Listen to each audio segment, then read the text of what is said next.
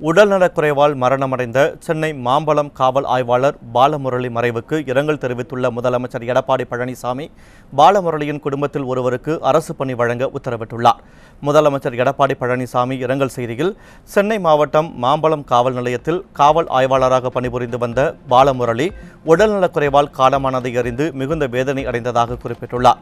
Corona virus தொற்று தடுப்பு பணியில் ஈடுபட்டிருந்த போது உயிரிழந்த காவல் ஆய்வாளர் பாலமுரளியின் தாயாரிடமும் மனைவியிடமும் தொலைபேசி வாயிலாக தனது ஆழ்ந்த இரங்கலையும் அனுதாபத்தையும் தெரிவித்துக் கொண்டதாக முதலமைச்சர் கூறியுள்ளார்.